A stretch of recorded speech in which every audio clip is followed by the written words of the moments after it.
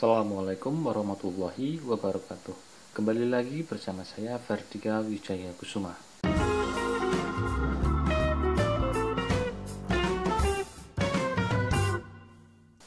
Dalam kesempatan video kali ini saya akan membagikan satu tutorial singkat kepada teman-teman semuanya tentang bagaimana cara merubah tema dari Google Drive yang semula berwarna putih cerah menjadi gelap caranya sangat mudah sekali.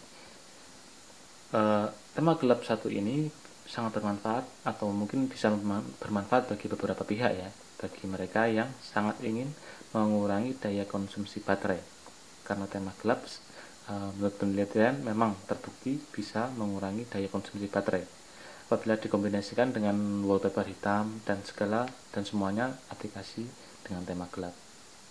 Nah langsung saja kita masuk ke tutorial yang pertama yaitu pastikan Anda sudah melakukan update aplikasi Google Drive ke versi yang paling terakhir.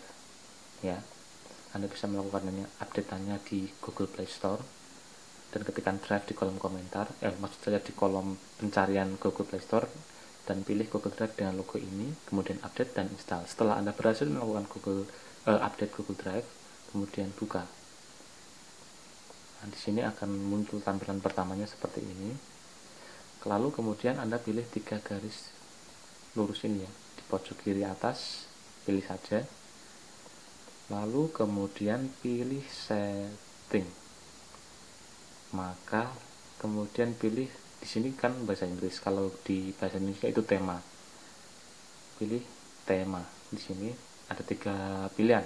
Yang pertama yaitu dark yang kedua light yang ketiga set by battery saver set by battery saver ini maksudnya adalah di HP saya ini ada fitur battery saver apabila uh, fitur tersebut diaktifkan maka ke otomatis akan berubah ke tema gelap.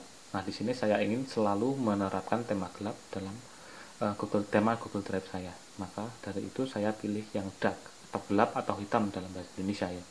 Pilih saja dan langsung bisa Anda nikmati tema gelap Google Drive seperti ini aja caranya sangat mudah simple dan tidak perlu repot-repot. Ya, demi, mungkin demikian tutorial dari saya yang bisa saya berikan kepada teman-teman semuanya ya. Semoga bermanfaat. Apabila ada tutur kata yang salah dari saya saya minta maaf. Akhir kata dari saya wassalamualaikum warahmatullahi wabarakatuh